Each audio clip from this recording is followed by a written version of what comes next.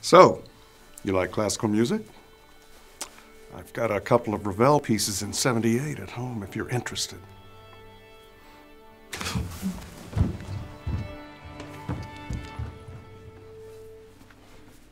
John Coupe was born on the island of lost soul music in 1923, and his first compositions were written on stray cats.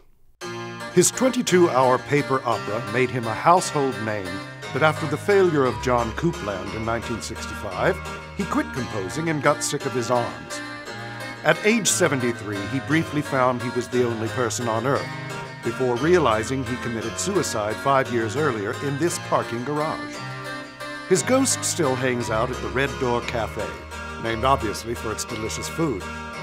Coupe's Piano Sonata No. 3 is a challenging and experimental piano work, originally written to accompany private parties of the mentally disturbed.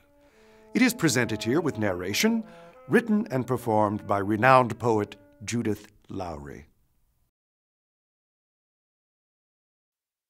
I've always considered myself a fairly normal person living a fairly normal life. Oh, sure, I have my eccentricities, as everyone does, and sure, I see a weird thing every now and then, but nothing compares to when I found myself stuck in an experimental film.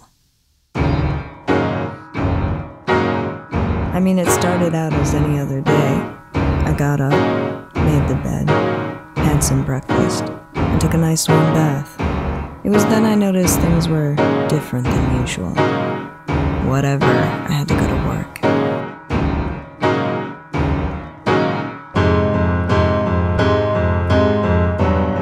And I don't know who I am. Is going round in a circle, vicious cycle that doesn't make any sense. I try to walk forward, but I'm walking straight back, and I try to walk forward, but I'm walking straight back, and why me?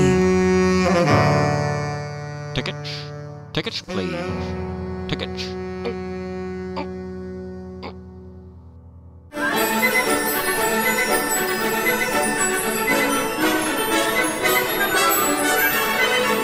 This stock footage? What does this mean? That's it. I quit. I can't take it anymore. No, wait, the clue. Finally, I understand. It all makes sense now.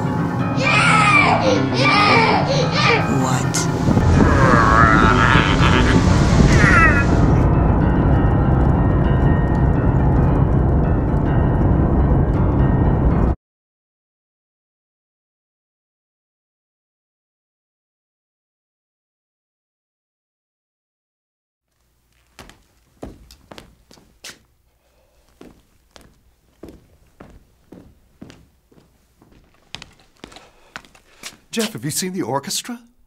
No.